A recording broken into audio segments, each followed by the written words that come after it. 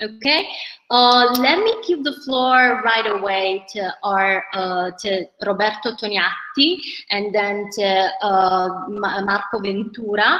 Roberto Toniatti is the my supervisor and full professor of constitution comparative constitutional law at the University of Trento, and Marco Ventura is the director of the Center for Religious Studies at the Fondazione Bruno uh, Kessler. Uh, Professor Toniatti, the floor is yours.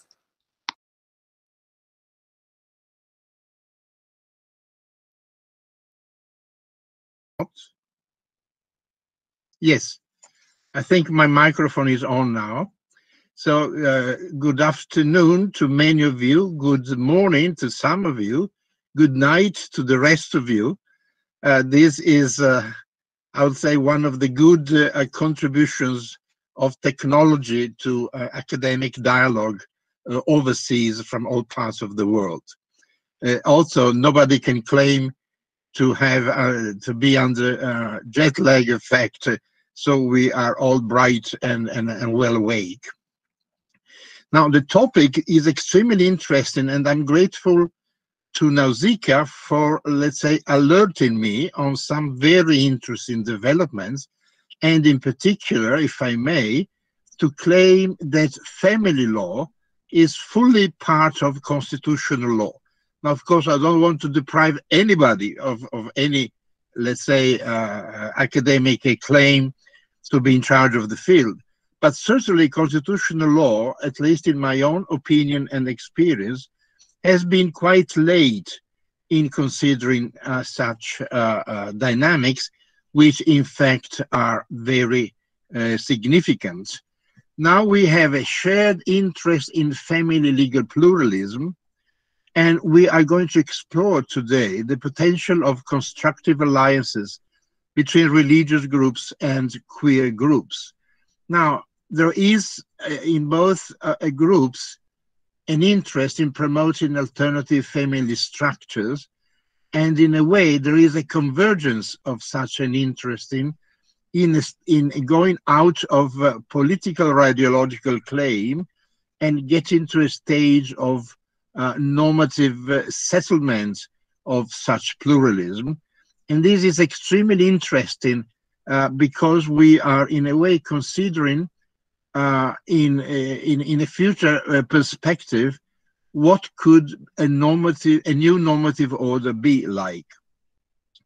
Now, let me just, for the sake of information, recall the fact that in just very recently, the Law Commission of the United Kingdom has issued a 458 page consultation paper on wedding law, starting from saying that wedding law in England and Wales is in desperate need of reform. Now, I don't go any further into this, but I would say that it is quite encouraging to see how the need for reform is uh, is uh, uh felt and shared by uh, uh, an authority such as the Law Commission, and the report is very thick, as I said, 454 pages.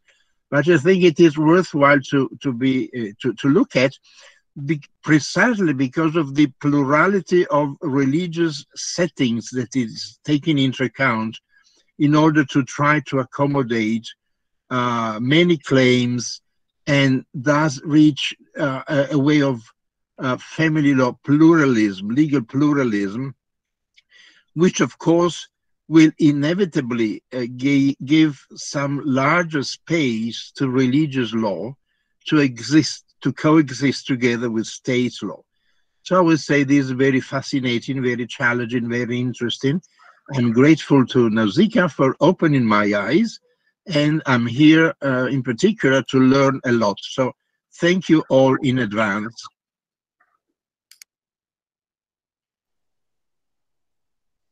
Now, Zika, I hope I haven't been too short. No, you've been perfect. Uh, All right. Marco Ventura, Professor Ventura. Uh, th thank you very much uh, from my side as well.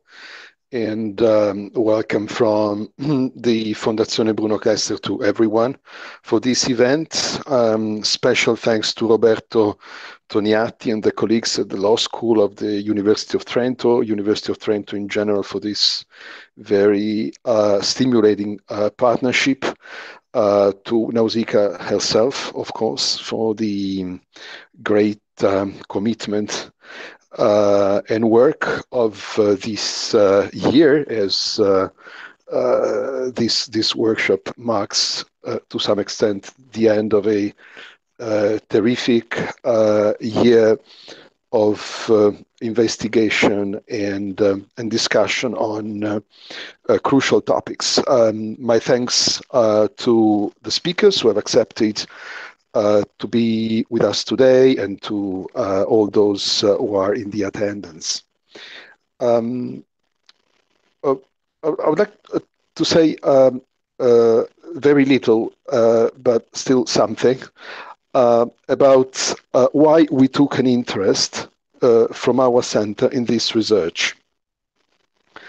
Now, our center is devoted uh, to a mission which we describe as uh, um, a mission on religion and innovation. We, we intend to work in an interdisciplinary um, uh, team uh, on uh, building a positive interaction between religion and, and innovation. And now, as I mentioned, this is uh, fundamentally uh, understood as an interdisciplinary um, effort. Uh, and uh, um, what this project brought to us is a legal perspective and a legal perspective on uh, an area and on strategies and concerns which are extremely relevant for the transformation of religion. So um, mapping uh, the interaction between uh, this project and, and, and, and, this workshop for the sake of uh, our, our uh, time together today. And uh, religion and innovation uh, would, would really require a lot of time. I don't have the time to go into that, but I, I have the time to um, underline the um, the interest of such mapping um, innovation is not a term that we use. Um, I'm also a legal scholar uh, that we use in legal in legal scholarship. Uh, well, uh, and for sure, we, we don't use innovation with a technical term. In in in uh, uh, when we say legal innovation is a very general um, is a very general expression, uh, which doesn't compare to the technicalities of, for instance, referring to social innovation or to innovation in, in science and technology. Uh, so the, the, the, the, very first uh, uh, uh preliminary interest here is to uh, move a bit beyond a, a sort of a superficial understanding of innovation in the law into an interaction uh, between legal experts and the communities of those who, who, who, use innovation and who do innovation with a more conventional and technical technical meaning. Now, Eric, uh, uh, uh, as we engage with this exercise in matters of religion, of course, this gets even more demanding and and and and, um, and stimulating. In, innovation for religion is a, a, a, big challenge, of course, and and talking about innovation is immediately talking about tradition, and uh, um, when uh, uh, religion connects to matters of family, of, of, of, kinship, of marriage, this is very clear. This is very clear.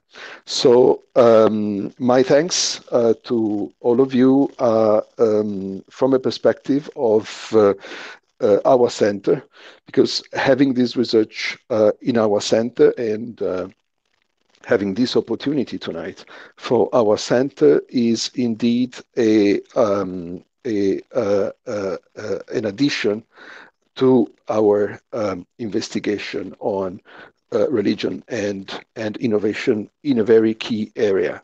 So through this investigation, we have the opportunity to uh, understand better uh, the future of social innovation as applied to family matters, um, the impact of social innovation on uh, uh, normative structures and, and the making of the law in all its uh, dimensions.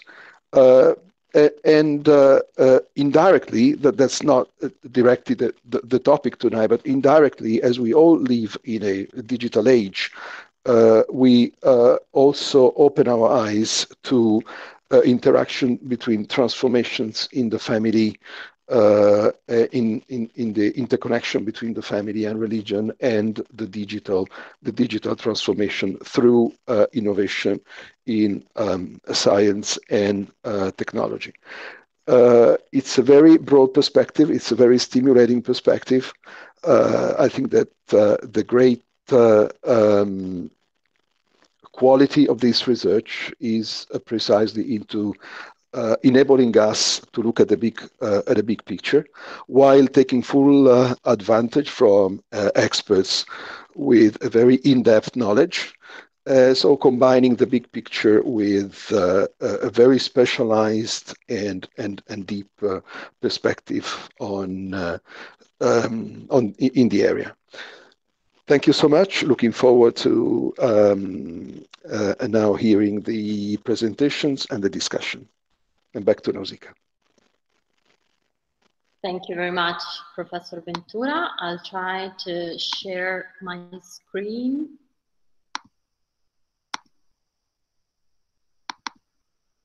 Okay. It should be working. Can you see the slides?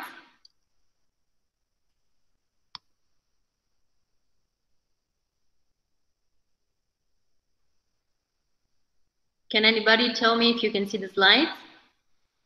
Yes, it works. Yes, it's fine. Yes. Thank you very Yes. much. Okay. Yeah, Um, okay. So uh, let's get started. Again, thank you everyone for, for being with us today. I think we will have, I'm pretty confident we will have a very interesting and engaging discussion today, looking at the cohort of speakers that have accepted to be with us today. My name is Nausica Palazzo. I'm a postdoctoral researcher at the University of Trento and uh, an affiliated researcher at the Center for Religious Studies of the Fondazione Bruno Kessler. That is the two institutions that have funded this research project. Um, uh, I have been working at these institutions in the past year. I will work there until November, and afterward, I will join. Uh, I will go to Israel as a postdoc researcher uh, to to continue uh, researching these topics.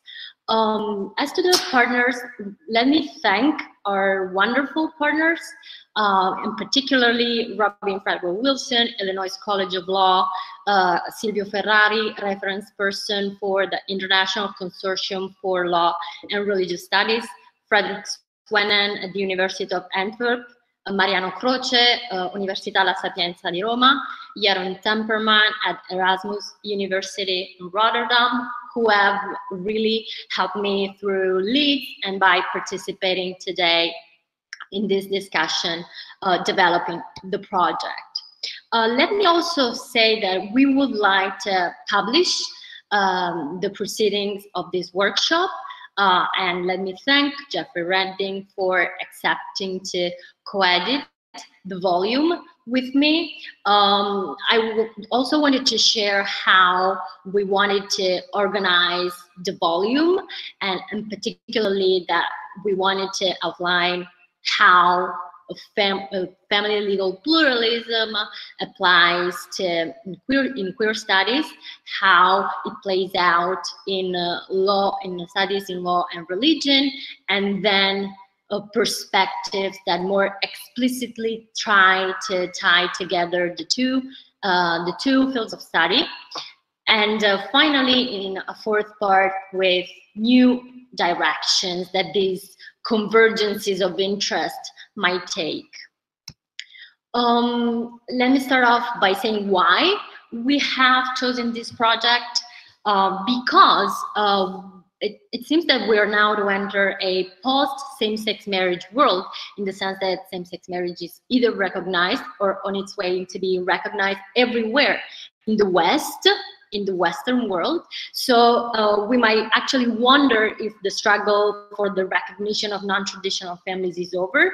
And of course, the answer is no. There are many more families living under the radar of law, such as non-conjugal families, such as polyamorous families, and many religious-based families. So um, there is a misalignment between law and the reality of families that this project, as apologies, that this project try to understand how to fix, how to um, to fix.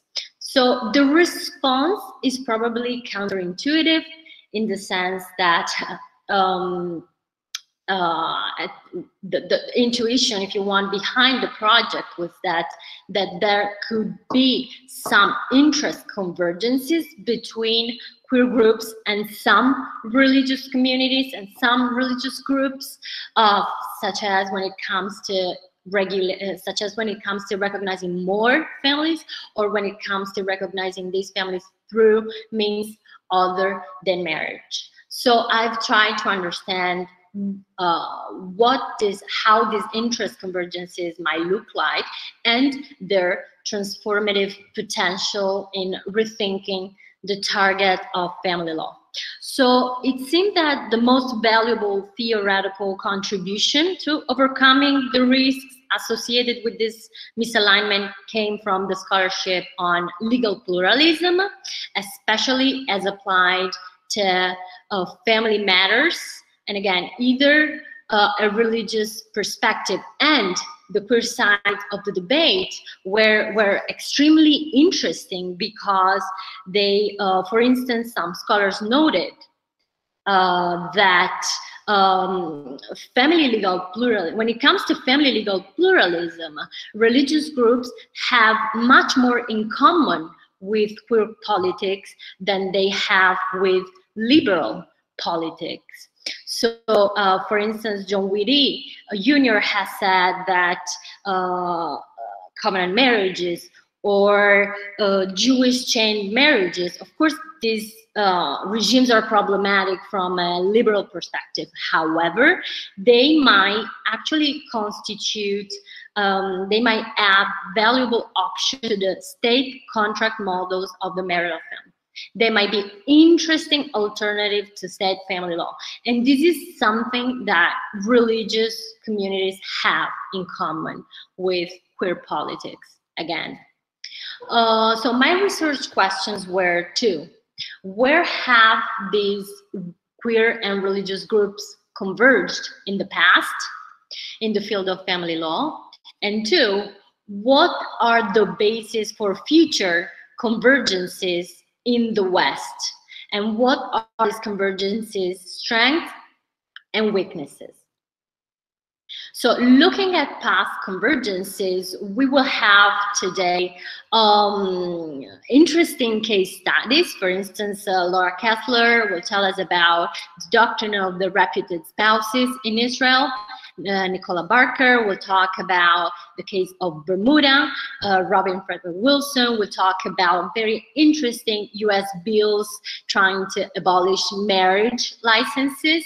Um, the convergences I focus on are um, especially regard non-marital regimes that were introduced starting from uh, 1997 to prevent the recognition of same-sex uh, marriage and same-sex couples, uh, and that ended up recognizing uh, uh couples of friends and couples of relatives, so-called non-conjugal couples. And I'm especially referring to the case of Hawaii, Vermont, Alberta, Tasmania, and Victoria, and uh, to a proposed amendment to the UK Civil Partnership Act that would have recognized uh, under the under the law siblings and grandparent grandparents.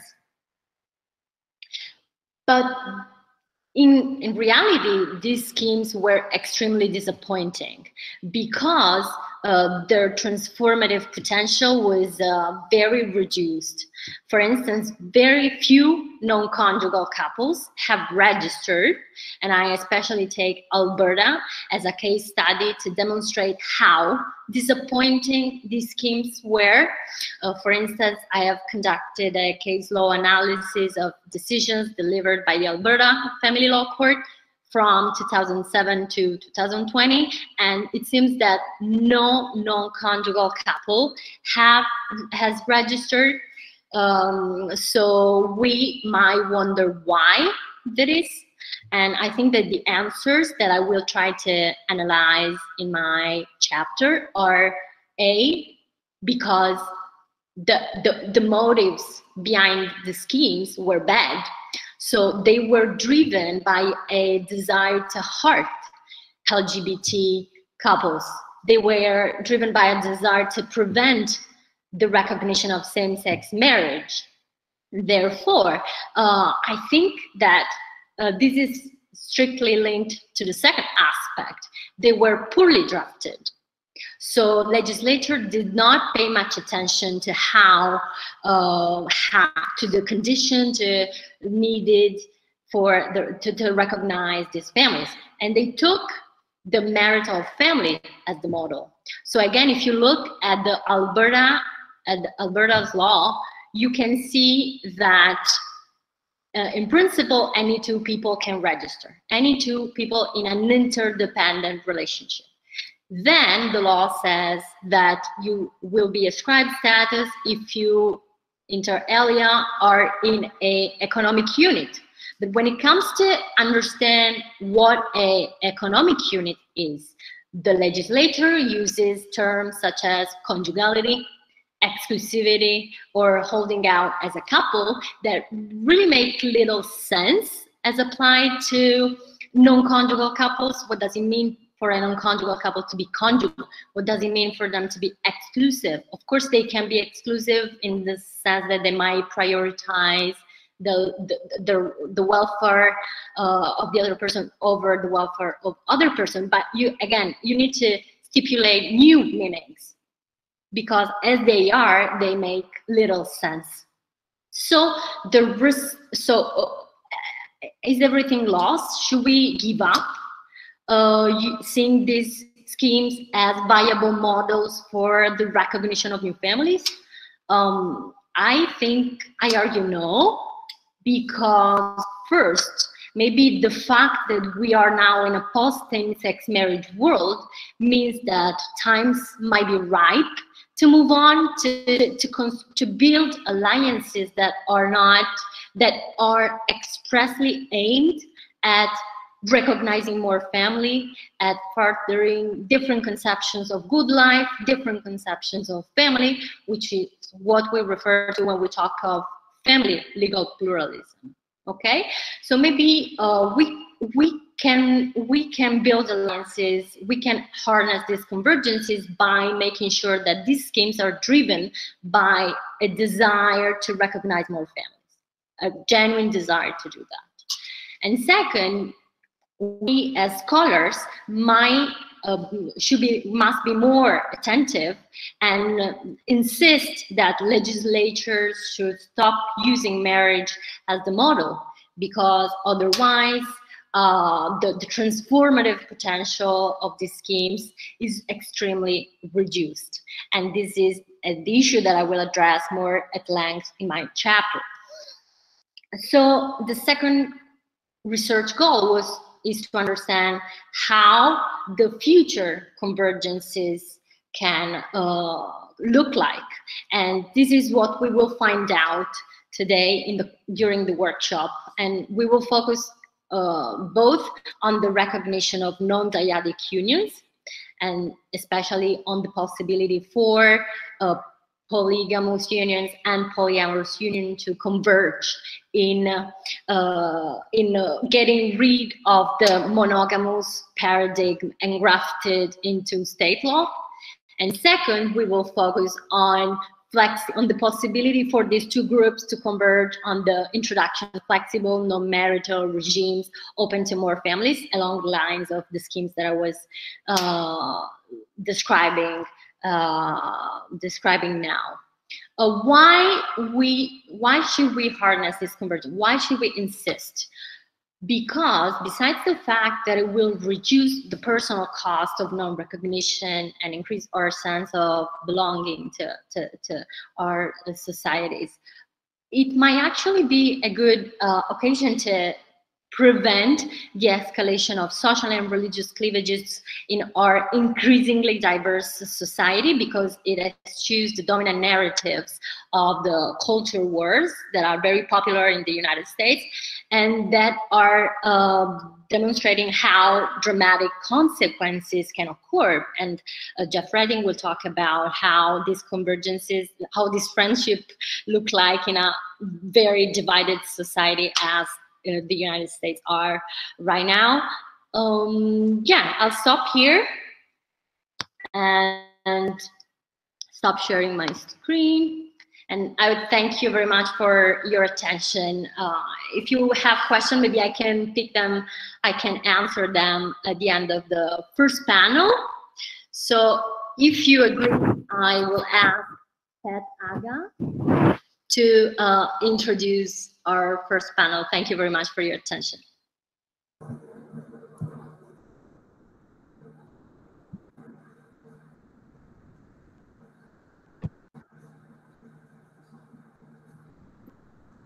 You hear me now?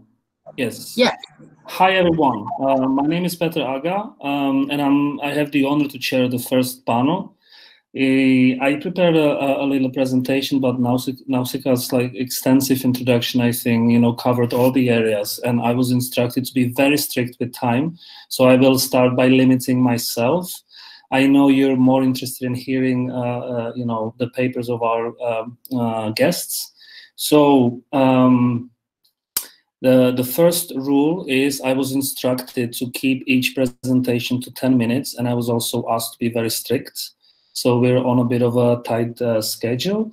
There was a, a, last moment change in the order of, of papers, I believe. So the first one to speak today is Robin Fretwell Wilson, who's going to talk about disentangling marriage in the state. Robin, you have 10 minutes wow, that's a lot of pressure. Thank you, Peter. So let me see how I can do on that. The first big challenge will be just to get the PowerPoint. to do this. Don't start my clock yet, Peter. Okay. Um, so can folks see this? Yes. Can you see this? Okay, great. So I'm going to do my best to blow through this in 10 minutes. Um, first, I just wanted to thank Nausica and also Isabel, who have done an amazing job Marco for the long partnerships across a lot of time. And I also want to just say hello to Jeff Redding. I haven't seen you forever. And Fred Geddix, I see you a lot, but haven't seen you since COVID. And hello to, to many new friends. So I want to talk about a movement in the United States after same-sex marriage to try to disentangle marriage and the state. Uh, I agree with many of the opening comments that we're in a post same-sex marriage world. Um, I want to show you that some social conservatives would like to take us to a post-marriage world because they're so concerned about same-sex marriage. It's almost as if they didn't win the culture war around same-sex marriage, and so now they want to take their toys home. I'm going to suggest that that move to disentangle marriage which was a reaction to same-sex marriage in cases like Obergefell, which brought that um, to the whole uh, country, which opened same-sex marriage to everybody in the country, that um, that this is actually a destructive move on the terms of social conservatives themselves. And then I might argue that it's also, I think, very bad for women um, and, and, and any other vulnerable person. So um, Chief Justice Roberts is a place to pick up with Obergefell. And he, in dissent, um, of course, being the only dissent that he had read from the bench in 10 years, um, in the first 10 years of his tenure, uh, waxes about how people of faith can receive no comfort in the treatment that they receive from the court. In effect, saying that they lost the ability to control the outlines and contours of marriage, and so there would be these reverberations. Some of the early reverberations were people like Kim Davis, um, who was the famous clerk, famous quote, clerk in Kentucky that took it upon herself to block people from their legal right to marry. Um, citing her own conscience. Um, long story short, uh, the ACLU sued. Uh, the state of Kentucky ultimately had to pay hundreds of thousands of dollars for the ways in which she humiliated a male couple that she made stand there for a long time while they were waiting for a license. Now, these are just sort of one off kind of pushbacks against the state. But then you get people like the then governor of Kentucky, Matt Bevin, saying that in effect the the the the court had changed the definition of marriage. And when they did that, they created this problem for people like Kim Davis. That was the claim. And then he wanted, in particular, to take Miss Davis out of that role. Um, and some of that role comes from the way that we've licensed marriage in the United States. In other words, you can't get married without the license in most places. We do have 13 states that still recognize a version of same, uh, I'm sorry, common law marriage. But generally, you need this little piece of paper. So one of the first things that he did was to try to remove the provision of that paper from people like um, like uh, Kim Davis. So you can get it now from a vital records search on the internet. I don't have any particular problem with how people get the piece of paper. I do think the piece of paper is important. I think it drives home the solemnity of, of the of the duties or obligations being being um, being taken on. But um, there we are. Now, this idea that we should unwind marriage, it's a thicker notion than what the Kentucky governor was talking about, that we should end marriage. It's very much linked, as I show in some early work um, after Obergefell, very much linked to the traction that same-sex marriage was getting in specific um, decisions um, in the United States. So this is a, a, particular way of looking at that through um, a device called um, uh, Crimson, um, the Harvard Crimson um, searches.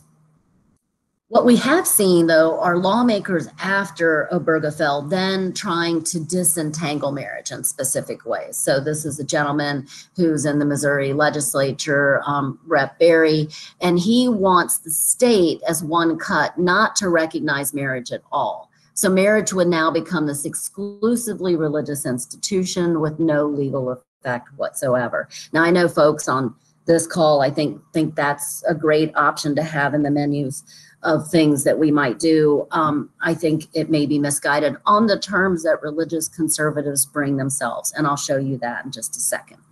A second cut at this is this gentleman in Indiana who has several times introduced a bill, also getting no traction. Um, in, in terms of actually being enacted, but he just wants to make marriage completely contractual. This is a difficult problem because you know, he kind of wants to say you have to bargain to whatever the outcomes that you're going to have between between the two parties. Um, there'll be some public policy limits, like you couldn't waive, for example, child support. But if you wanted to waive the right to have any property um, interest in the earnings of the couple, which is something that would normally come from marriage in the United States, you could do that. Now, I think this is going to be very destruct, destructive, especially to the interests of vulnerable persons, read across large groups, women and children. Now, in the United States, we may be different than people on this call, and I was interested, Nausica, that you'll be spending time in Israel, where I've also spent a lot of time because they have a very different project. But in the United States, you every religious marriage has civil effect. In fact, it is a misdemeanor um, or a regulatory violation in every state in America to bring into existence or purport to a religious marriage without civilly registering it. So what that means is every religious marriage has civil effects. There will be civil marriages have no religious implications because the people didn't that's not what they think about or wanted to do. Um, now, one of the big pushbacks against same sex marriage were all these religious leaders saying that they would continue to religiously marry people and refuse to file. And in effect, that move is not unlike um, what Rep Berry wants to do in Missouri, so that we'll have like a religious thing and the civil thing is entirely different. And I think that's going to be very destructive for um, for vulnerable populations. So I think we're at a place in the United States where some people are trying to deal with this postmodern same-sex marriage world by transforming the relationship to marriage.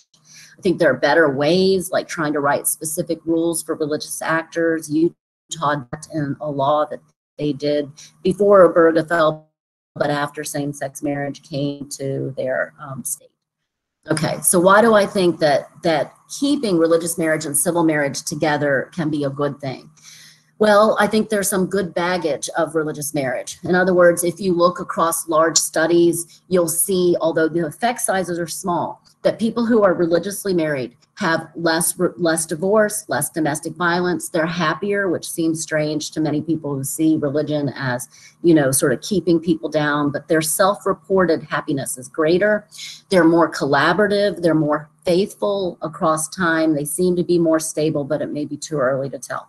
So in some sense, by keeping religious marriage and civil marriage together, if religious marriage is having these good effects, it's sort of dragging up the mean. Um, other reasons to worry is when I think you cause this rift between religious marriage being over here and civil marriage over there, i.e., you don't register the civil piece of it like the first things um, religious leaders or Berry would do. Then I think what's going to happen is that the people who are religiously married may misstep very easily. They may not know that they need to have it civilly registered. They may not know they need a second um, event, in effect, a second status, in order to be protected societally. And if they don't know those things, then I think the weaker parties will be stranded without remedies. Now, we could, in theory, solve this with education, but it's very difficult to talk to, especially insular religious communities, and get them to understand that. I'm going to use an example out of Great Britain, so I was interested to hear about these new reforms and, in the updating of marriage law, because that's where one of my primary examples come from. So many of you know that for a time there would be people who um, were insular minorities within um, Great Britain um, being forced to have the dissolution of their marriages decided by Sharia courts because, in effect, their marriage was off the grid. It wasn't being seen civilly by the state. And those have important um, implications for the baseline protections that the state gives to vulnerable minorities, and it's something I've written about at length. But the long story short is, let's say that this, this the, these folks are married up here at the top, and that the woman and the um, the um, man um, have a, a, child in common, a daughter, um, and then he dies. So he's going to pass away. What's going to happen um, in under Sharia law is that if he has a mother and a father, a lot of his estate is going to go to them. And only 25% is permitted to go to the wife under some schools of Sharia law, not not all, okay, but some schools. And were the same thing to happen uh, and the background law in Britain apply, she would take that entire estate. So you can see immediately that there are repercussions for not having your marriage civilly recognized. And in this case, it's not malign, it's the way that, that the state um, put marriages on their radar, I suppose. Now, I, say, I think there's a second reason to worry about the approach that basically um, Rep. Lucas in Indiana was trying to push, which is we just, you know, we'll let everybody contract and the state will not set these background rules. And I think that's um, a problem because we know factually that, couples don't sign contracts, okay? We also know factually that there are, you know, unequal bargaining position of, um, let's say, the, the generally the, the largest wage earner being men and then women being more vulnerable. Um, there will be gaps in their contracts. In other words, I worry that people won't know the kinds of things they need to contract around. I'm always shocked when I start my first day of family law with like a little quiz about do you know that this is the background rule um, about sharing of property? Or do you know this is the background rule about alimony? Or do you know this is the background rule about what? And there are thousands of these rules, and they don't know. And they're in law school. So if they don't know, ordinary people are not going to know what to bargain about. And um, beyond that, the state provides just by one federal count something like you know, 1,035 different uh, benefits that track to marriage as a status. Some of them come from marriage, but they're requiring third parties to do something for the married people. A private contract cannot bind the bank not to take your house, for example, or something else. And so that contractual model is going to lose lots of protections that were carried with marriage. And that's going to be a challenge for the people who have the of a menu. And then I think I'm on my last point, and I suspect out of time. Um, I think we will also lose the channeling function of marriage. I think marriage has had the ability to channel people into stable relationships because it kind of increases the exit cost. Um, and in this contractual vision, I think you're going to lose the ability to regulate at exit in a thick way, and that may actually destabilize marriage. Now, some of us may see destabilizing of marriage as a good thing. Um, I'm not trying to take a normative view of whether it's good or not. Um, my only point is that the religious conservatives, I don't know how to stop sharing that, sorry. But my only point is that the religious conservatives who have pushed this, I think have not appreciated the implications of what they're doing. Thank you. Um, thank you very much, Robin. Uh, you almost made it on time. Uh, it was really professional and a very amazing uh, kickstart to this evening's uh, afternoon's discussion. So next, next one is Jeff. Jeff, you are going to talk about personal status laws. So the floor is yours, and again, try to keep it to 10 minutes or so. Okay, great. So uh, today my I want to build off uh, two previous articles of mine. Um, the first one is called Dignity, Legal Pluralism, and Same-Sex Marriage, and it's from uh, 10 years ago uh, in the Brooklyn Law Review. And the second piece is um, called Slicing the American Pie, Federalism and Personal Law, and it's um, from 2008 in the New York University Journal of International Law and Politics. So, ask Robin to mute her microphone. Thank you very much, Robin. Thank you. Okay, great. So um, one of the primary arguments of my uh, Brooklyn Law Review article is that there is a way of doing family law that navigates a middle path between state coerced uniformity in family law and on the opposite end of a spectrum here of sorts, private ordering, uh, which Robin has just spoken about, where the state has little to no role over care and responsibility contracts drafted and agreed to by two or more adults. So this middle path or, or personal um, law um, is one that we see instantiated in many places around the world. So in my Brooklyn Law Review piece, I focus on the personal law system in India, but the work of uh, Yüksel Sezgin uh, documents the instantiation of personal law um, in numerous countries, uh, many British post-colonial countries. So in India, the personal law system uh, dates um, from uh, at least the colonial period. And under it, different religious communities, Hindu, Muslim, Christian, others, uh, are governed by different family law statutes, norms, and, and case law that grows up around um, all of the uh, statutes and norms. So these, um, focusing on the statutes, um, these statutes have been promulgated or legislated um, from central secular bodies, um, parliament, for example. Um, and these um, central bodies tend to be averse to pronouncing upon a, uh, a, religious community's family law practices without religious community input and acquiescence. Okay, so there are many critics of personal law systems, but I think um, both supporters and critics would agree that personal law systems make family law not only very visible, but also very political. And with this visibility in politics, I think um, some of the dangers of private ordering are avoided, as are some of the dangers of state coerced uh, uniformity. So given all this, the Brooklyn Law Review article makes the additional observation that queer family form formation does not have to follow either assimilation into heterosexually authored, majoritarian, and monolithic family law of the state, nor does queer family formation have to fall into the potential dangers and inequities of the world of private ordering, as Robin just described. Rather, um, a separate and better queer family law can be accomplished through a personal law process that recognizes not um, simply religious diversity, such as in India, but sexual diversity too. Of course, you know, such a proposal is eminently controversial, um, and it hasn't gone anywhere much uh, since my article. Uh, but my Brooklyn Law Review article um, read along with my NYU uh, Journal of International Law and Politics article, offers a robust defense of queer personal law.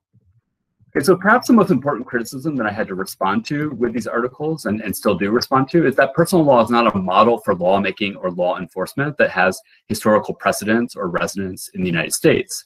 In short, the criticism here is something like the general critique many comparativists face. You know, your foreign example is very neat, but it is totally historically and culturally inappropriate to our, the American context. So I think this uh, criticism is wrong for two major reasons. So um, the first reason is that some US states, uh, California and Connecticut, for example, uh, before Obergefell, uh, had started to go down the queer personal law road before their efforts got stymied by uh, litigation. So in both California and Connecticut, formal same-sex relationships were basically um, substantively equal to different sex marriages at the state level, but were organized under a different name, domestic partnerships, civil unions, for example, in different state statutory frameworks. You know, um, while substantively, um, um, there was a lot of overlap between domestic partnership and civil unions in California and Connecticut and, and, and marriage, I think the different statutory frameworks could have allowed in the future, if they've been allowed to persist, um, for queer and straight family law to have uh, productively diverged. For example, different norms and rules around parenthood, monogamy and adultery, and property division and divorce could have developed. Um, on this note, I, I, will say that I think uh, straight people have issues, anxieties, and problems in these areas that many queer people do not share. Um, with regards to children, uh, I think this is a you know a common um, issue that comes up, and I think having you could have an altogether different statutory framework that gets triggered for any kind of family with children. Um, and you know, here I, I think we um, uh, need to remind ourselves not to uh, let uh, babies and children overdetermine uh, family law, much less queer life.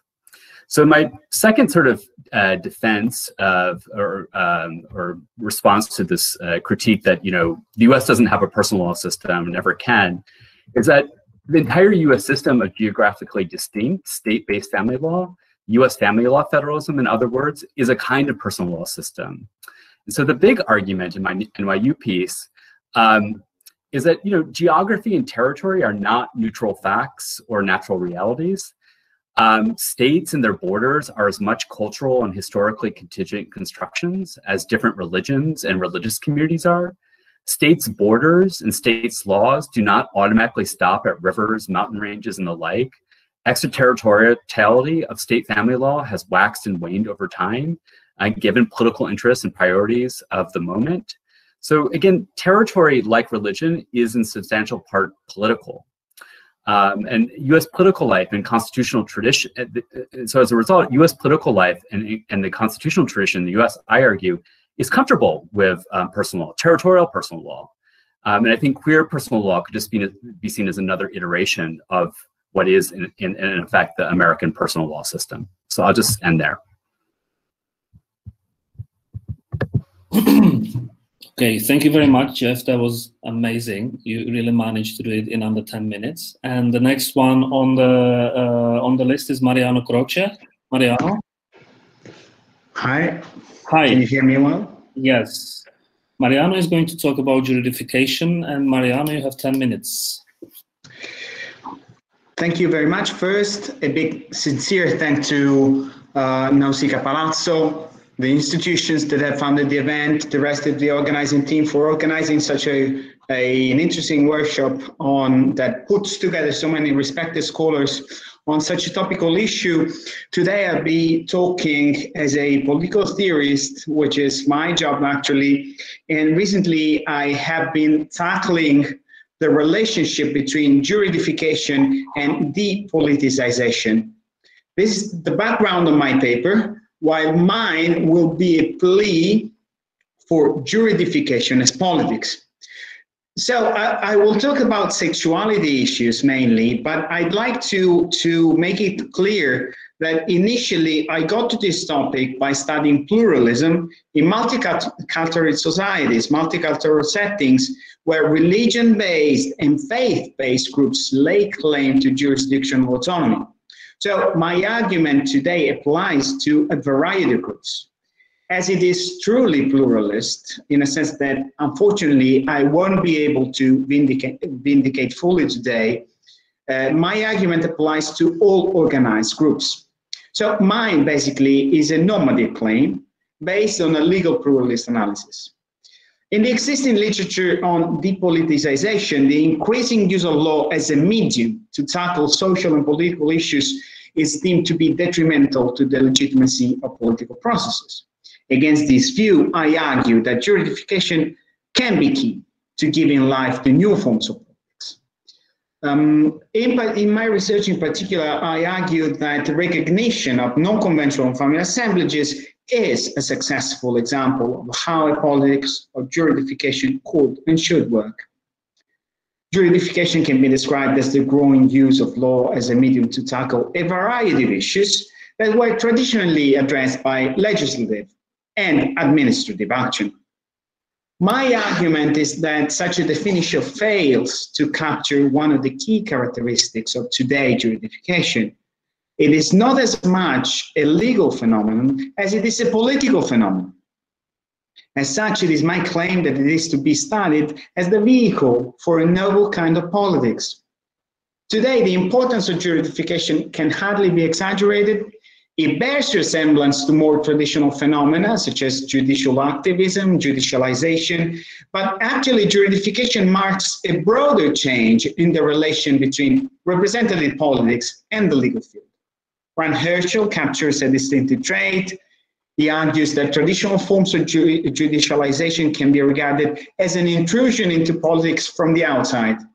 Judges are said to have a political agenda, uh, one that lacks democratic legitimacy, and seek to implement it through judicial decisions. And in so doing, judges are claimed to overstep their competencies to the potential detriment of political institutions.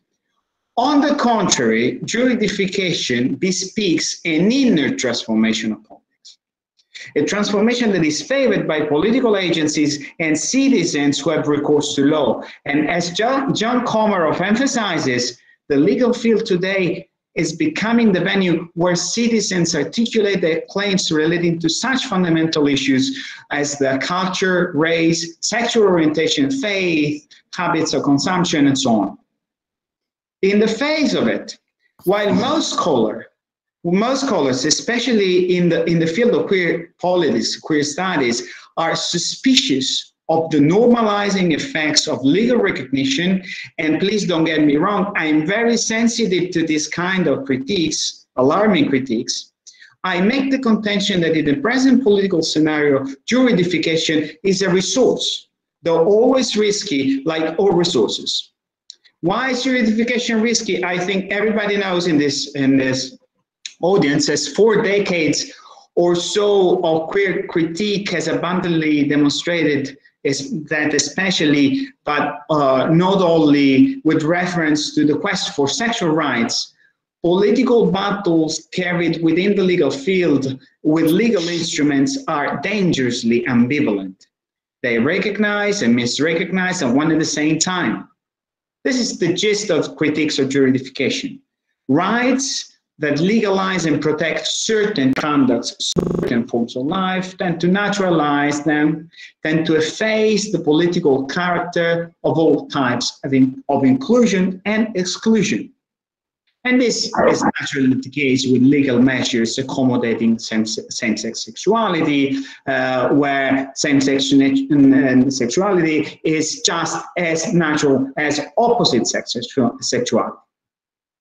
Um, based on a my claim is is different than this, although sensitive to this, uh, based on a theoretical backdrop that draws from legal institutionalism legal pluralism, and actor network theory, I advance a view of juridification that calls for a new sensitivity to the normativity of social assemblages and suggests revising the role of law. I know this is a broad sweeping claim, but revising the role of law within contemporary liberal democracies. Um, uh, I cannot delve into this framework now, but the main feature is a particular understanding of how normative contexts come about and how the state should recognize their normativity. So against two centuries and even more of state-centered, state-based models of law, uh, drawing from this literature, I show that the normativity of the state should feed off the normativity of social assemblages. What does it mean to make room for the normativity of social assemblages? If we understand juridification as a process whereby social actors reach out to legal institutions to have their claims heard, legal institutions could and should rethink their activity in a way that opens spaces for social actors to verbalize what they do, how they organize their assemblages, what the symbolic and material resources are that they use to set them up, what they think they need in order to make it to continue to exist. In this way, the law is not called upon to provide what my colleague uh, Frederik Swennen calls a budget respectability. We've been working on this together through inclusion into something that is already included in the legal body. On, on uh, quite the contrary, the law would first and foremost draw from the transformative potential of assemblages as they engage in negotiation with greater institutional networks, such as the state, the state apparatus the transformative potential of these assemblages lies in using law to negotiate normative recognition of a body of normativity that could feed in many ways into the broader legal body uh, and could extend the broader legal body, the state legal system. On this account, official legal courts could become the space for verbalizing a set of needs and requirements that cut across a, cut across a variety of contexts. Debate of this sort within courts would not only relate to self-interested, inward-looking concerns, rather they would be oriented to the creation of bodies of legislation that do not build into existing law, and thus can expand the ex existing law. So uh, Swen and I call this contractualization. And with a bracketed R, so contractualization is a relationship uh, recognition model that signifies a movement from contacts, the way assembly, um, uh, members of assemblages make contact, to contracts. It is a movement by which legal institutions look into concrete assemblages created by social actors to understand the way they themselves create their points of contact. So as far as non-conventional family configurations are concerned, legal recognition should work as an ethnographer, one who seeks to pinpoint the actual stuff that is involved in the creation of networks whose members think that they should be officially recognized as members of a network, of an assemblage. This recognition model uses juridification, that is to say, the increasing use of law as a political means, as an effective instrument to bring about the multiple ways in which they themselves, social actors, self-organize. And the way this self-organization can be consolidated with recourse to a legal proxy, so to say.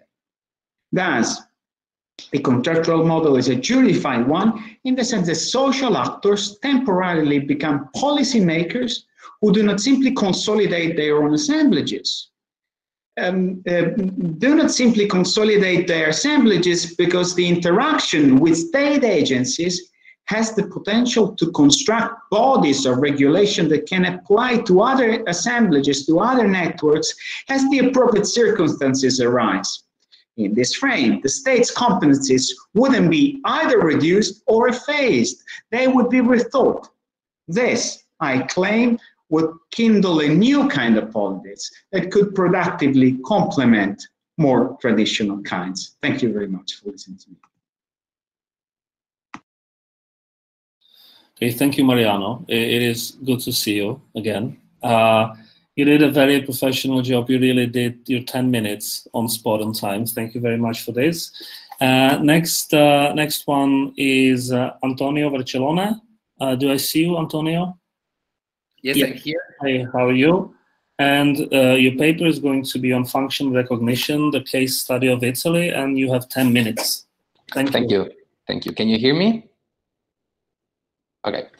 So thank you very much. And I also wish to thank the organizers of this conference and the institutions which have funded it and Nausica in particular for, for the invitation. Um, yes, I uh, will apply a private law perspective to my brief introduction to the topic I would like to share with you, um, which is on uh, how basically we could start thinking a different notion of uh, family, starting from a general critique which has been developed towards uh, marriage.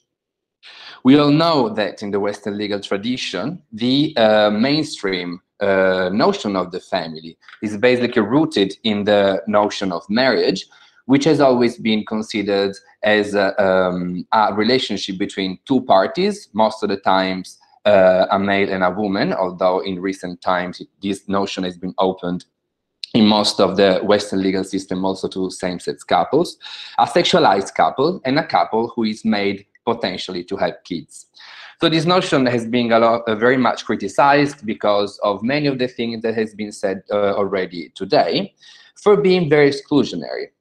And um, this political uh, criticism has also been used a lot also to expand the notion to same-sex couples um, to let's say try to make politically uh, a more open notion of family.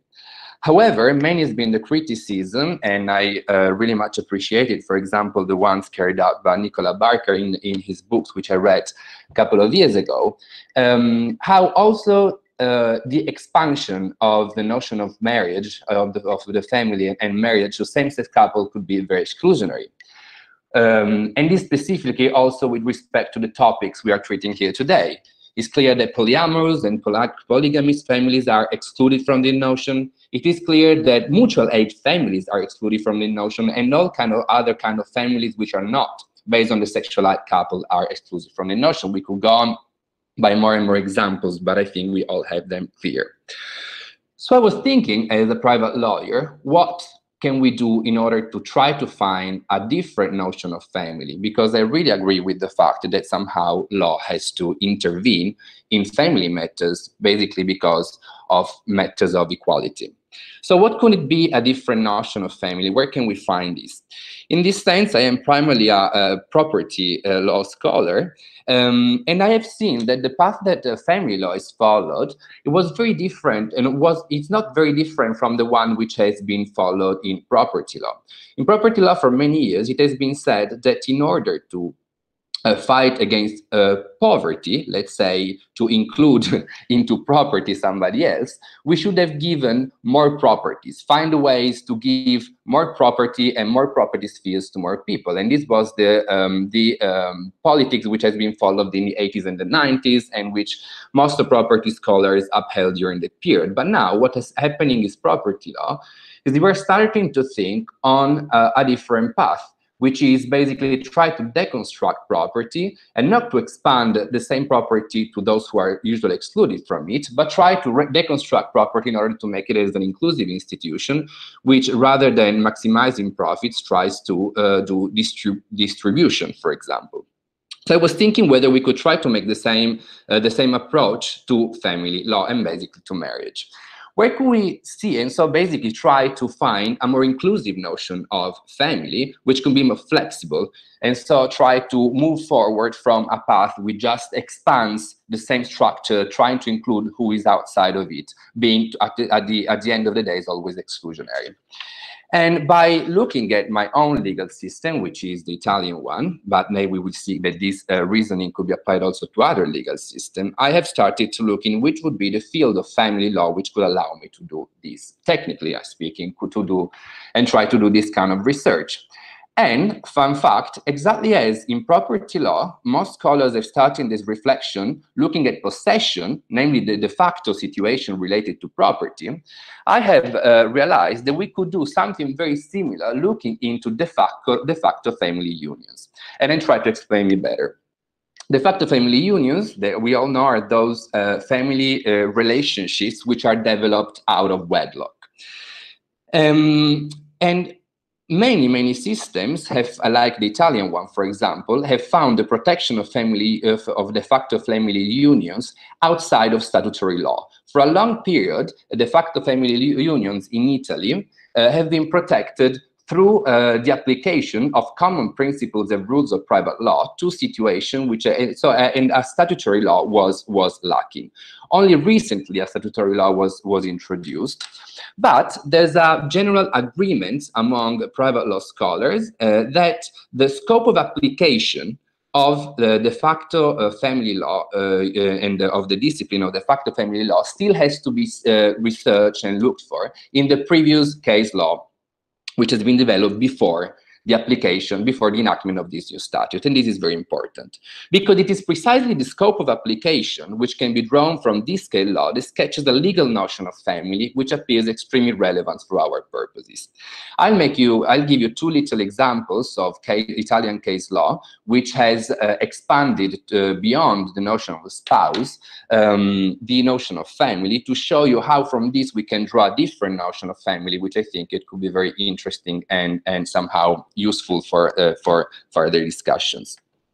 One of the first rights that the Italian uh, Supreme Court, which is called Corte di Cassazione, have extended beyond the spouse um, already at the beginning of, uh, at the end of the 90s, was the right of the partner of a um, de facto uh, couple to be compensated for damages in the case of uh, loss of, uh, of one of its partner. Why? What was the reasoning that led the court to extend to extend this right, which has been uh, normally considered only belonging to spouses, also to a de facto partner, uh, being in a relationship out of wedlock? Well, actually, it was just application of tra traditional principle on torts. What were the the the, um, the requisite for it? First of all, a relationship which entailed economic support and cooperation between the parties, which stability allowed to generate the expectations of its lasting in the future because they legitimate uh, a monetary loss. And then a strong personal bond between the parties so that the death of one of them would, would cause in the other a severe emotional and physical pain. So this would be the non-monetary loss legitimation. So this element actually are not, said the court, proper only on spouses, but also to any sta stable relationship based on mutual moral and economic support. And this is the first, the first notion that we can find. So it's a stable relationship based on mutual moral and economic support, the relevant definition of family that the court found in this case law. But then if we checked on all the other rights which has been extended from spouses to de facto relationships, this is always, always the uh, notion that we will find. A fun fact, it is not a notion that has been, let's say, copied from one case law to the other. It was a notion that emerged from the bottom up in uh, facing uh, concrete situations of need. Another example is the extension of some kind of legal protection to the partner um, with respect to its position with reference to the common home uh, when only one of the two partners has a title on this uh, on the flat or on the place where the couple or the family lives. Here, normally, the Italian, the, the, Italian courts, before uh, this uh, overruling, which is from the 90s again, or the beginning of 2000, said that the partner of a civil of a de facto union should be considered as a host. This way, the title owner on the common home, the partner who has a title on the common home, could kick him out without any notice. Then these um, approaches has changed, and the court started starting to saying that, that, of course, like a partner cannot be considered as a host precisely because she does not have a relationship as a host with the uh, title owner. But with the title owner, they have a mutual, a relationship of mutual support, economic and moral support, which is developed within this common home. And precisely because of that, we need to grant some kind of legal protection to the non-title holder. So again, we find, again, the same notion. Basically, a stable relationship based on mutual and moral and economic support. But we can really well see that all these case law, these two case law that we have seen, could have been perfectly, perfectly compatible with a, situ with a polyamorous family as long as it could have the um, these these uh, these elements, so a relationship which could have been should have been um, stable enough, or also to a polygamist uh, de facto family, or also to a mutual aid family. Uh, so going beyond the gender, the number, the sexualization of the relationship. So we're finding a very inclusive notion of family. And it's important to note that this notion of family that we are mentioning, we can find in the whole Italian case law on de facto relationships, and which has shaped the construction of their legal prerogatives on de facto relationships. I during my uh, research, I've also seen that with this kind of approach can be also found in other legal systems in Europe and somehow can be found also in the case law of the European Court of uh, Human Rights. And especially on that uh, case law of the European Courts of Human, Human Rights, which has developed the notion of family with respect to the application of Article 8 of the, of the Convention, which I recall to all of us, which is somehow this is European law union because we recognize the European Convention uh, of Human Rights as part of, of uh, EU law. So I'm getting to the to the conclusion since I uh, want to stay within the 10 minutes I was given.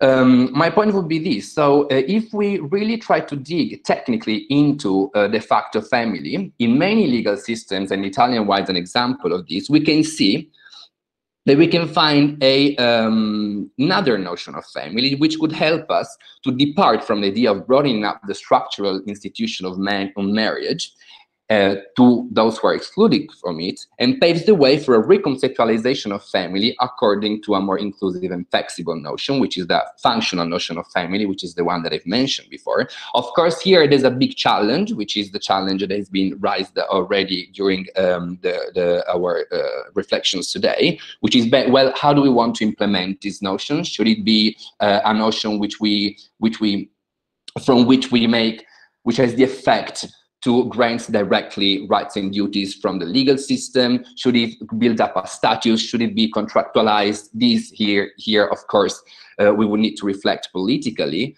um, within the tension and the constant tension between freedom and equality, which we constantly have to deal with in family law. But with such a notion already, the other important thing is that such a notion, of course, within, of course, through a counter-hegemonic and maybe mi minoritarian interpretation, but we can find it in the law, and we so it exists in the law, and I think that is strategically very important. It is also strategically very important to know that such a notion was developed by the case law, and it is not only the case of Italy, which was just an example, um, in front of different practical needs so it emerged from the bottom map with respect to practical needs, which sees that actually the family which we can design from the needs of a familiar unit um, design this kind of notion rather than a structural notion based on a, a legal lien of, of marriage. So if this is true, and I'm concluding this, we will still need to think, even constitutionally, with respect to fundamental rights and pluralism, if it makes any sense still to found a notion of family based on a legal lien, let's say, irrespectively on any factual, uh, any factual assessment of the actual situation of the people, while on the other hand, we can consider, uh, if it's any legitimacy to consider irrelevant, the actual existence of a strong mutual support and a stable relationship between the people independently of the gender, sexual orientation, and a number of the people uh, with respect to the law. I think that could be a, a very good uh, strategic tool we could use constitutionally to uh, try to um, let's say, start a reflection and a critical reflection on a notion, on a different notion of family, which could be more inclusive in the terms that we're interested in. Thank you. Thank you, Antonio. Uh, so the next speaker uh, is Laura Kessler. Laura. Okay. Can everyone hear me? Yeah, but can we? Oh, yeah, we can even see you now. So uh, Laura is is going to talk um, about law and social movements for family equality, and she's going to talk about specifically Israel. Laura, you have 10, 10 minutes. Thank you. Okay, excellent. Oh, well, so thank you, Nausica, for inviting me to this conference. I'm really so happy to have the opportunity to participate despite our uh, separation by time and geography. Um, so what I'm going to talk about today uh, is uh, I'm going to share a piece of my larger research on the strategies employed by activists and civil rights lawyers to liberalize family law in Israel. Um, uh, this research is supported by uh, a senior Fulbright award as well as the University of Utah, where I'm a faculty member. So I just want to start with some background. Um, by way of background, I mean, Israel's personal status system, um, as many in the audience probably know, uh, was inherited from the Ottoman Empire. Um, it continued in largely the same form during the British Mandate and after Israel became a state. Um, and uh, this system uh, really is officially state, uh, in, in, this system, uh, official state recognized religions retain exclusive control over uh, marriage and divorce. Uh, there's no civil marriage in Israel, uh, unlike as Robin discussed in the United States, we have uh, civil marriage, but not in Israel. Um, matters concerning personal status are determined according to the religious affiliation of the parties involved. So, uh, for example, um, if you're a Jew, you must be married by a rabbi in accordance with Jewish religious doctrine. Uh, if you are a Muslim, you must be married according to Sharia law, uh, and so on. Uh, pastors and ministers may marry Christians according to Christian religious doctrine. And so, um, as, as you'll see in this slide, uh, there are actually 14 recognized religious communities in Israel. Um, and each recognized religion uh, has its own legal system. Uh, the religious law of each respective community governs personal status matters. And uh, in particular, and importantly, uh, there's exclusive jurisdiction over marriage and divorce uh, of each religious community. So um, the recognized religions in Israel are generally very traditional and patriarchal in their outlook um, and their uh, doctrines. And uh, this is uh, actually a picture of the uh, members of uh, uh, the highest, the, the, rabbinate in Israel, the highest court. Um, and, and, so this is just, I thought that illustrates, you know, all men, uh, Orthodox men um, making decisions about marriage and divorce, um, at least for Jews. Um, and you see the same pattern um, in Sharia courts um, as well. Okay, so what is the result? Uh, this leads to a discriminatory treatment of women, of same-sex couples, um, interfaith couples in matters of personal status, and uh, particularly marriage and divorce. I think that uh, the most, uh, you know, the example that many people are familiar with is the get system. Um, according to Jewish law, a man must grant a bill of divorce or a get, um, and a woman must accept a, a get um, for a divorce to occur. Uh, because um, there are actually exceptions that apply only to men, um, a husband can actually is free to remarry without a divorce um, if the wife doesn't accept a get um, but the wife does not. And so, what is the result? Um, the results are, are twofold. Um, first of all, um, as Nausica uh, referenced in her introduction, um, some women are chained or trapped in dangerous or dead marriages. Um, they're uh, called chained or agunot in Israel. but I actually think the larger uh, effect, the systemic effect, is that this affects uh, the inequality of the parties uh, with regard to the ability to divorce bleeds into negotiations over property support and custody. Um, so, for example, a husband may condition his cooperation in granting a get upon a series of economic demands, ranging from economic concessions related to marital property, spousal support, child support, or custody and visitation. Um, and so, uh, really, the widespread and systemic effect is uh, you might call uh, blackmail in uh, the economic consequences and divorce in, in the negotiations. So uh, I have uh, uh, the next thing I'll note, obviously, is that uh, because of the patriarchal uh, ideology of the recognized religions in Israel, um, that same-sex marriages are not. Uh, you may not contract a same-sex marriage in the state of Israel. Um, interfaith couples may not marry in Israel because they everyone parties are married according to the, their religion, and so that's not possible if there's an interfaith couple. Um, and then more generally, I, I, think it's fair to say that uh, the religious monopoly over marriage impacts the religious uh, freedom of all, all Israelis. So I have uh, some examples, and in light of the time, I'm going to skip this one. This is a, a, a, a, case of a woman who was trapped in a domestic violence relationship in, in a marriage for more than 20 years. Um, but I, will move on to some other ones that I think uh, people might uh, maybe are less widely understood in terms of how it works in Israel. Um, so this is uh, Lucy Aharish and uh, Tzachi Halevi. Um, Aharish is a popular TV anchor in Israel. She, uh, um, uh, she's a Muslim. Um, uh, Halevi is an actor on the Netflix uh, series Fauda. he's Jewish. Um, because um, all legally recognized unions must be performed by a Christian, Muslim, Jews, or Orthodox Jewish clergy, there's no way to le legally for Israelis to marry outside of their faith um, unless they go abroad to another country, in which case, if there's a valid marriage entered into in another country, if they return to Israel, their marriage will be recognized. Or if one person converts to the other uh, religion, um, of course, which is very onerous, um, it could be a lengthy, arduous uh, uh, process, as well as, I would argue, of uh, potentially a violation of religious uh, principles of religious freedom if the person doesn't want to convert. Um, so this couple had a non-binding ceremony and a private ceremony, but there's no way for them to uh, have a, a legal, uh, contract a legal marriage in Israel. Uh, the next example, um, this is a couple, Aviad and Sion Raz. Uh, they met in uh, university, in Ben Gurion University. Um, homosexuality is condemned in Orthodox Judaism. Uh, they may not let legally marry in Israel. They did have a commitment ceremony, um, and then they eventually married in the United States.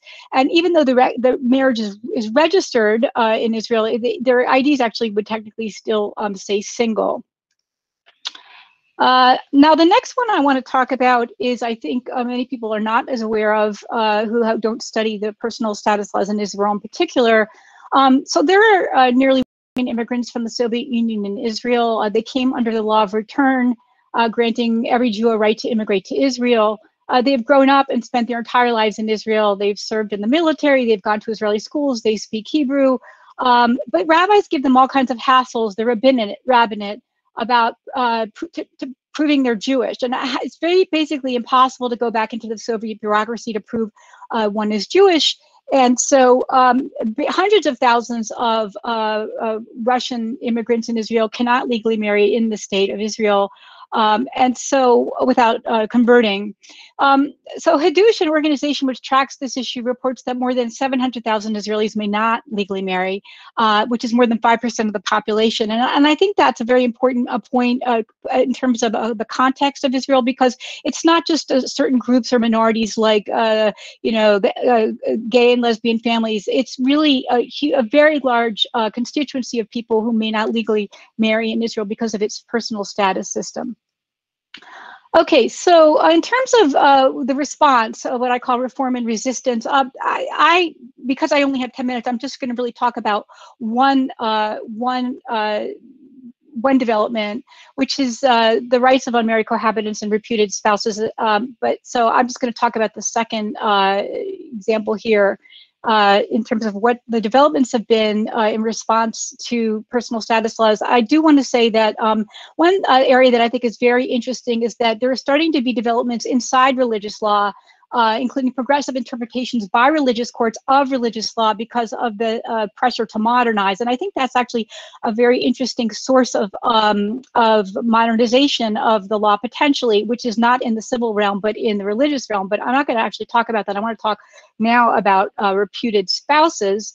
Um, so um, Israeli law recognizes unmarried cohabitants to an unusual degree uh, compared with other developed countries. Um, indeed, it's one of the most progressive countries with respect to partners without formal marital ties. Um, reputed spouses are afforded a wide range of rights that are almost identical to the rights enjoyed by married couples.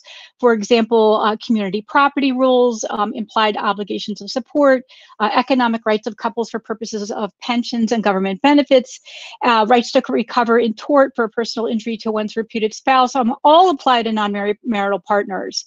Um, and I think it's important to note here that this reform came about largely because of demands by the Soviet, uh, the Russian immigrant community, that a very large percentage of the population in Israel was not did not have access to marriage and demanded it. Um, and then ultimately, what happened was that because of civil rights litigation, same-sex couples uh, were added. Uh, they, they argued that there was a, a, violation of equality to give uh, certain immigrants uh, Russian immigrants the right to um, uh, heterosexual couples, essentially the rights to uh, be reputed spouses, but not same-sex couples, and they prevailed.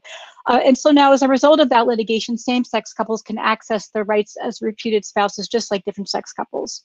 Um, because Israel has so many restrictions on marriage as reflected in state-sanctioned personal status law, uh, many Israeli couples find themselves cohabiting outside of marriage, um, and increasingly out of protest uh, many Israeli couples uh, who can legally marry in Israel are actually choosing not to do so. Uh, couples who don't want to be married uh, according to uh, uh, you know, fundamentalist religious rules or Orthodox religious rules.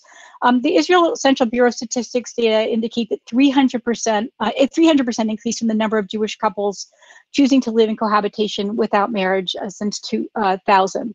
Now, I realize I'm basically out of time, but I guess I want to end with uh, an assessment, right? Uh, uh, what are what what are the takeaways from the developments with regard to reputed spouses in Israel? Um, and how does it fit into the theme of convergence of interests and family law among religious and queer constituencies? Um, I guess I would say uh, it, we, it, we should be cautious. Um, the valiant efforts to reform personal status in Israel uh, and to, has achieved more pluralism, um, and it's brought out significant legal changes, uh, really new rules of the game, so to speak. But the rules, however, reflect many of the same features as patriarchal personal status laws. Um, legal scholar Reva Siegel has dubbed this preservation through transformation, a process through which uh, privileges maintain uh, through rules um, even though the rules and the rhetoric uh, change.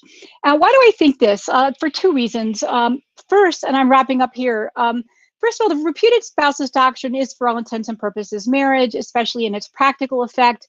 Um, it's been critiqued as illiberal in that it imposes marriage-like like obligations on parties ex post who never intended to be married. Um, I think this is a very persuasive argument, especially given that the reputed spouse doctrine is applied at the end of the relationship not at the beginning. Um, and then I think uh, all the while, um, even though you might argue that the, this doctrine isn't really super progressive in terms of uh, family pluralism because it imposes a heterosexual normative model on unmarried couples, but all the while, the existence of the pluralistic alternatives postpones, I would argue, the introduction of civil marriage in Israel and more pluralistic models. And one may even see the robust partnership rights in Israel and and um, and the personal status laws as part of a symbiotic system with each enabling the other. So in the end, uh, while there are more choices, a robust pluralism in family law is not the result of reform um, and have not occurred uh, so far. I went a little over, so thank you so much.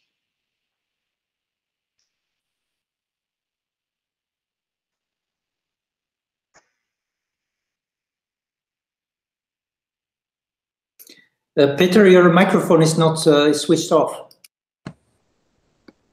Okay, um, sorry. Um, so thank you, Laura, very much. And now we have the, the last speaker, Nicola Barker from the University of Liverpool, who's going to talk about religion and sexuality in the Bermuda same marriage litigation.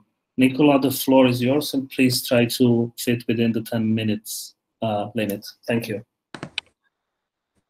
Thank you very much. Um, I'm just going to try and share my screen with you. Is that working? Yes. Yeah, you can see? Yes. Okay, great. Yeah. Um, so thank you, Nausica, for inviting me to speak at this workshop and for the previous um, presenters for your fascinating papers. Um, I'm going to talk about one example of convergence and divergence between different religious perspectives and the LGBT community in Bermuda. In my previous work, I've critiqued same sex marriage from a queer feminist perspective, and my own preference would be for the institution to be dismantled rather than expanded. Um, but the Bermuda situation was particularly interesting to me because the fight for same sex marriage in Bermuda became essentially a dispute between competing religious beliefs rather than kind of the usual situation of religion versus the LGBT community.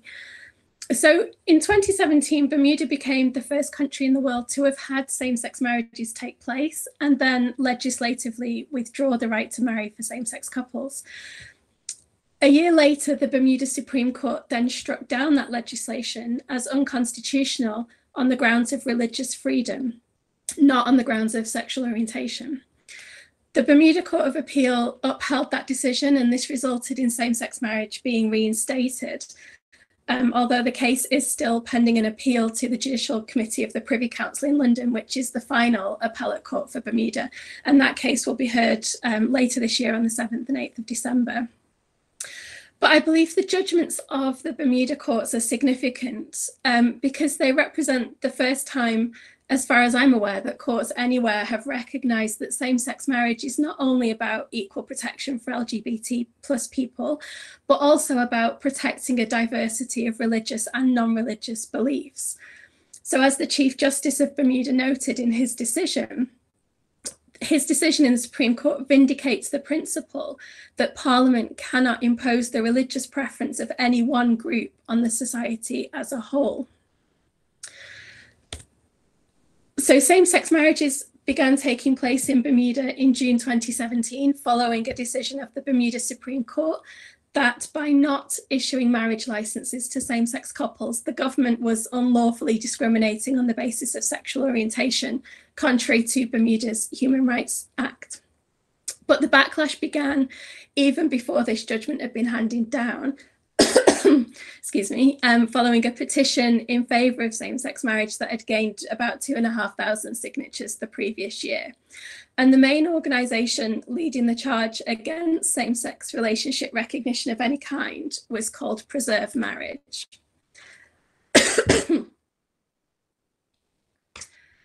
so, despite close links to conservative Christian churches in both Bermuda and the United States, and its aim to uphold marriage as a quote special union ordained by God between a man and a woman. Preserve Marriage actually appears to downplay its religious influences by presenting itself as concerned citizens rather than as an explicitly Christian organization. But there's little doubt that they did, in fact, seek to promote a particular conservative version of Christianity.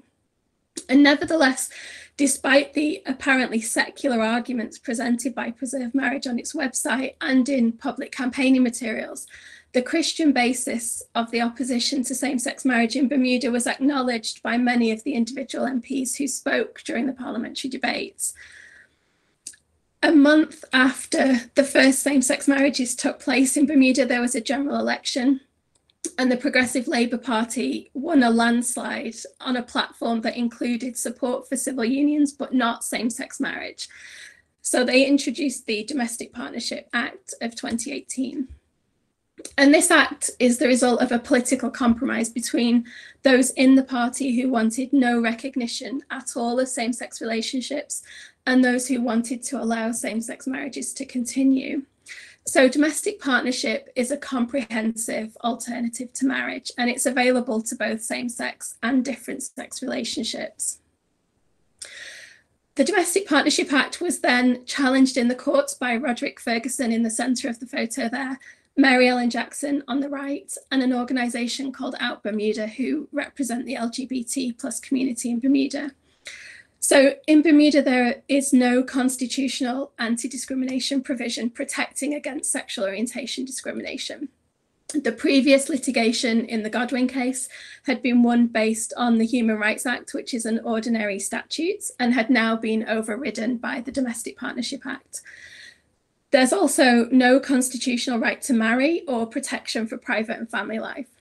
So, a constitutional challenge to the Domestic Partnership Act appeared at first glance to be a lost cause. In fact, the Chief Justice quickly dismissed most of the arguments made by the applicants in Ferguson out Bermuda. But out Bermuda had built coalitions with religious groups and individuals who supported their application, and they went on to become co applicants in the case, which proved crucial. So, in this way, the litigation in this case became not about sexual orientation versus religion in the way that it's generally been framed elsewhere, but rather about whether the state can prioritize one set of religious or non religious beliefs over another set of beliefs. And the two constitutional provisions engaged in this case were Section 8, Protection of Freedom of Conscience, and Section 12, Prohibition of Discrimination on the Grounds of Creed. So Out Bermuda had two strands of argument. The first was that the Domestic Partnership Act was created for a religious purpose, contrary to Section 8 of the Constitution.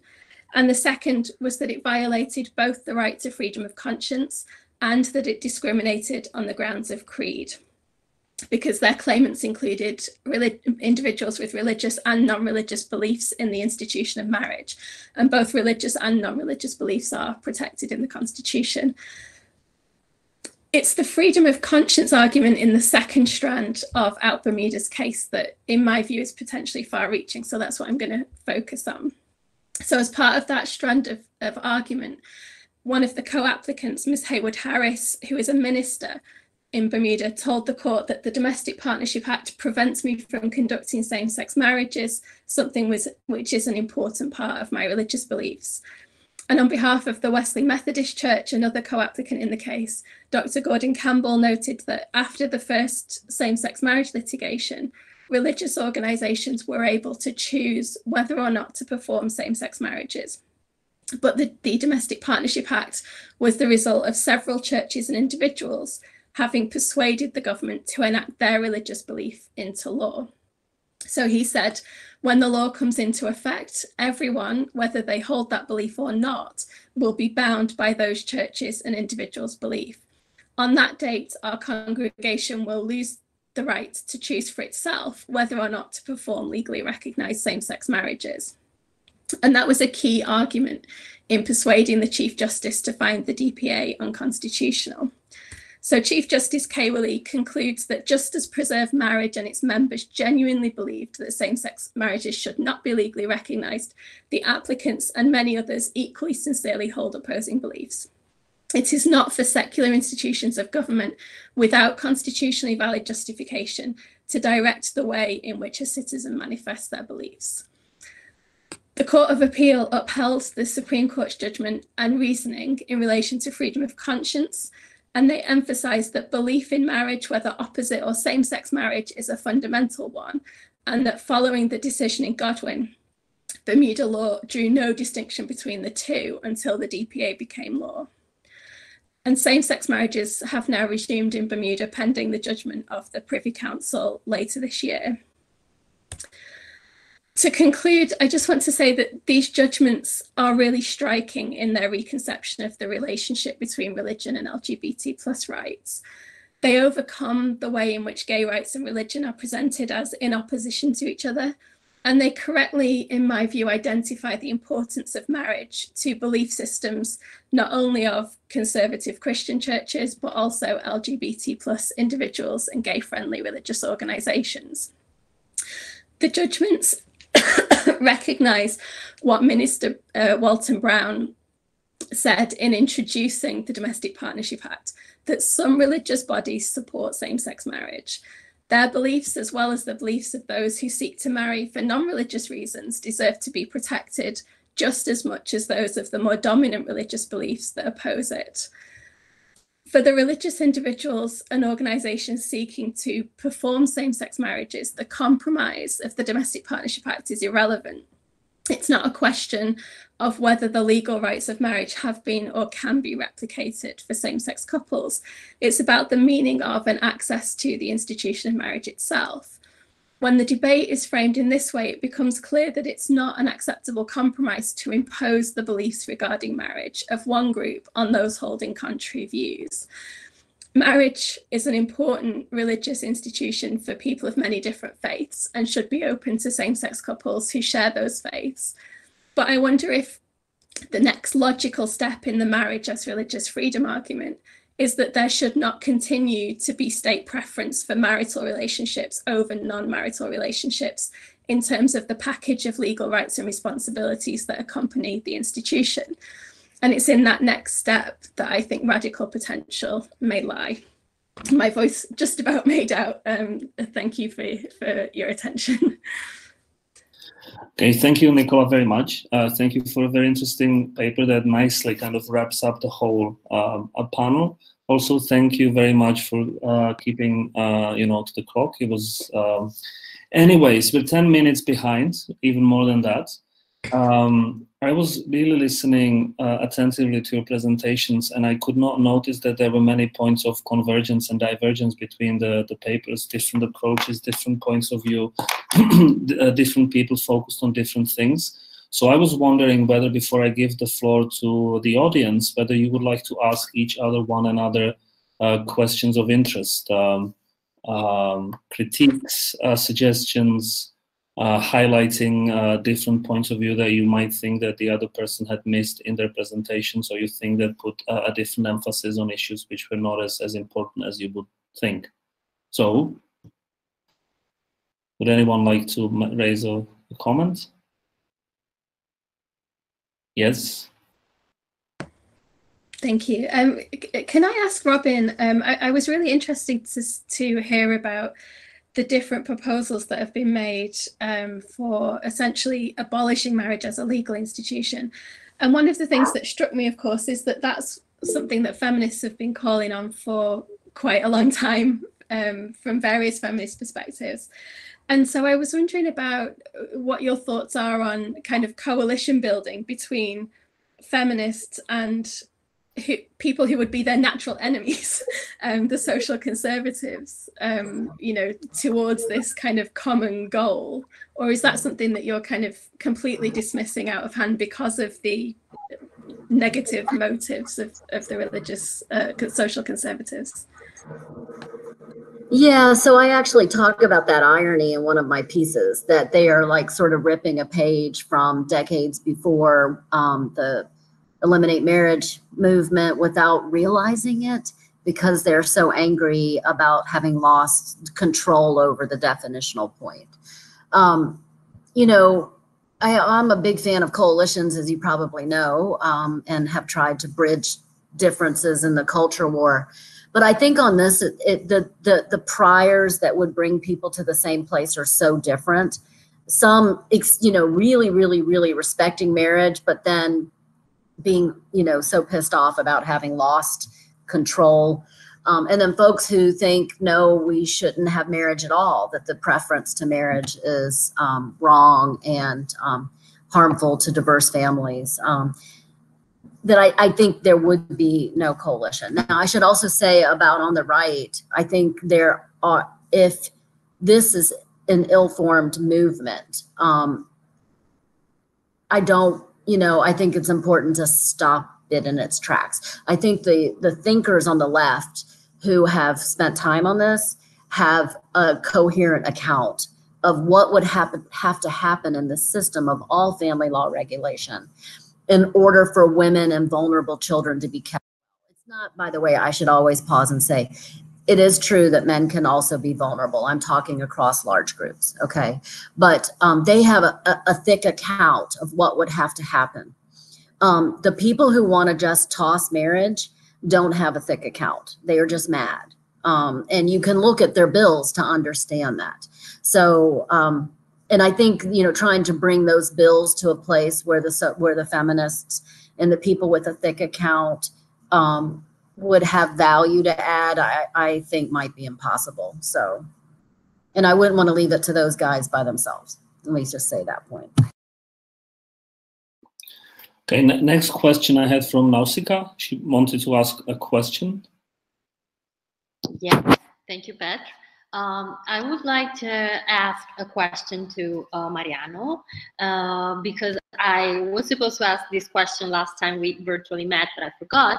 And it regards uh, the paper you uh, have written with uh, Frederik Swennen, Contractualization. So uh, first I recommend uh, people in the audience to read it because it's really interesting.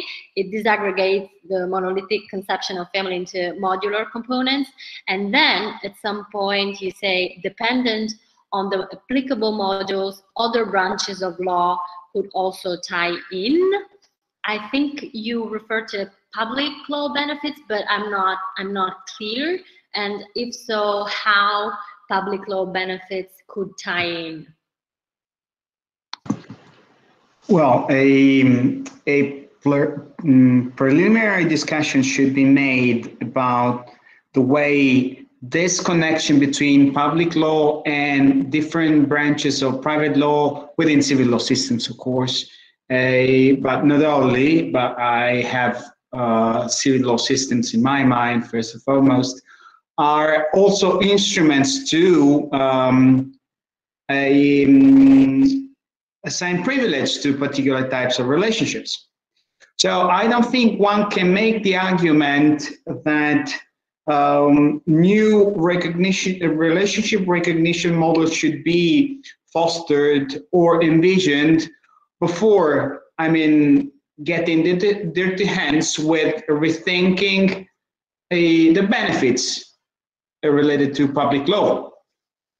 So I think that when the, the reason why I usually construct my argument in this way is that a, a, a family law within um, family law, which is really in between private and public law, but and public law have to be rethought hand in hand. It is impossible to say that a, a new model has to be implemented without saying that uh, you are also affecting taxation. You are also affecting something that I wanted, unfortunately, uh, Robin has to go, but this is something that I wanted to ask.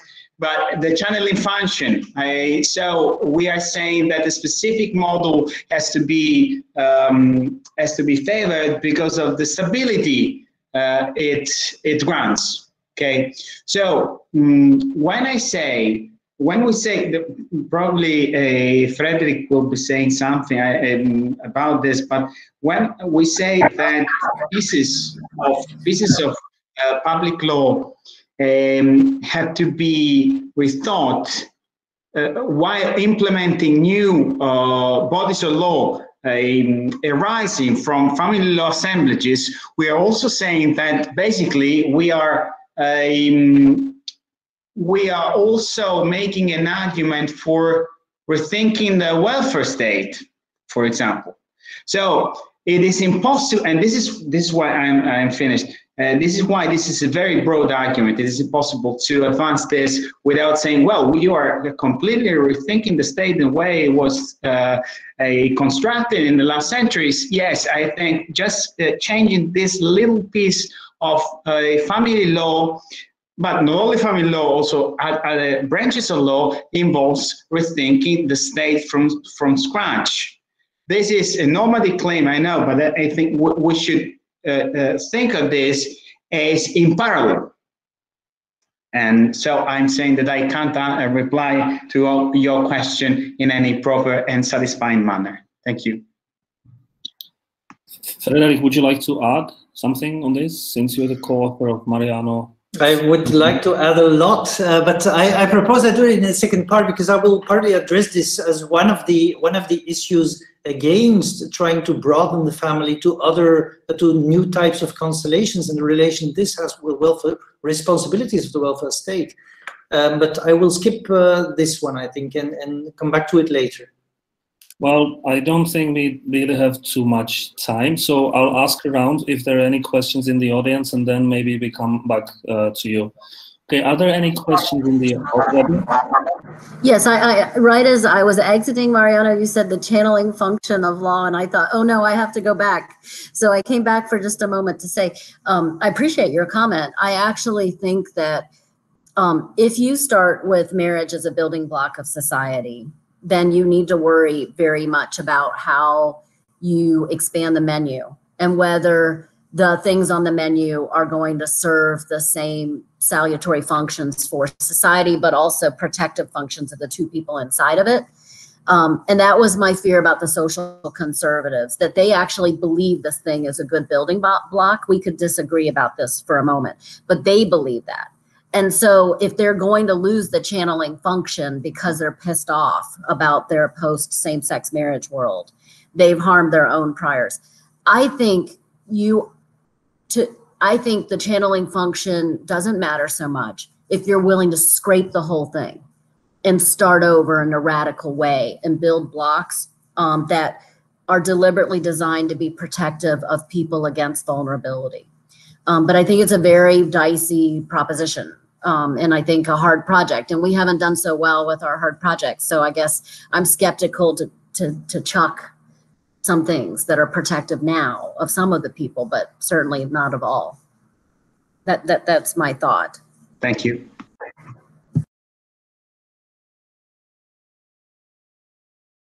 Um, okay, uh, are there any questions from the audience? Yes, Roberto.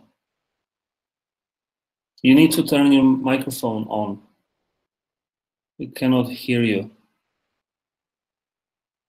You need to press the red microphone.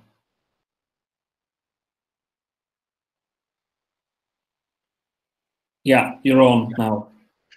Um, it it is uh, it is a question uh, for anybody who cares to, to to to give an answer to make a comment. It's not really a question in the European Convention of Human Rights and the Charter of uh, Human Rights, Fundamental Rights of the European Union, we do have a right to marry. Uh, I wonder, first of all, uh, what is the reaction of a system like in Israel, for instance, where I understand there is no right to marry. at least for a small group of, uh, of citizens. Secondly, is the right to marriage going to become a duty to marry uh, in some context in which uh, alternative marriage life is not allowed and it is even uh, uh repressed. So I, you know, I, I, I fully appreciate now the the importance of the right to marry in both European uh, charters, and I see that they are not really representative of a, a universal approach to marriage. So I think it is it would be an interesting starting point for elaborating more uh, on it. Thank you. Okay, thank you very much. Uh, uh, would you like to react, panelists? Some of you? No. I can say something about yeah. um, about the right to marry in, in Bermuda. So Bermuda is also subject to the European Convention on Human Rights as a British overseas territory. Um, so if someone from Bermuda wanted to claim their right to marry, they would take the UK government to to Strasbourg, not the Bermuda government, because the UK has responsibility for international relations. So theoretically, um, Article 12 would apply to Bermuda. Um, but they haven't incorporated it into domestic law. So the Bermuda domestic courts cannot enforce that right. They, they would have to go to Strasbourg. Um, and of course, we know that Article 12 at the moment doesn't include the right to marry for same sex couples.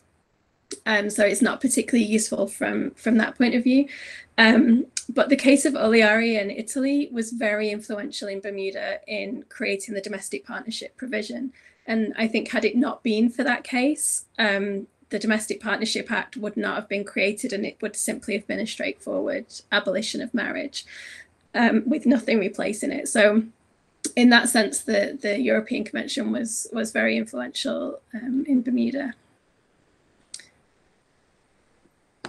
Okay, um, let me collect the last round of questions before we go back to Frederik, who, who had like uh, an idea how we wanted to move the discussion forward. So are there any other questions from the audience? We have 38 people uh, online with us. Are there any any one of you who would like to uh, comment and or ask a question? Okay, I'm gonna wait five seconds. Maybe someone pops up. Um, I don't think. Oh yeah, there's Jeff, one of the panelists.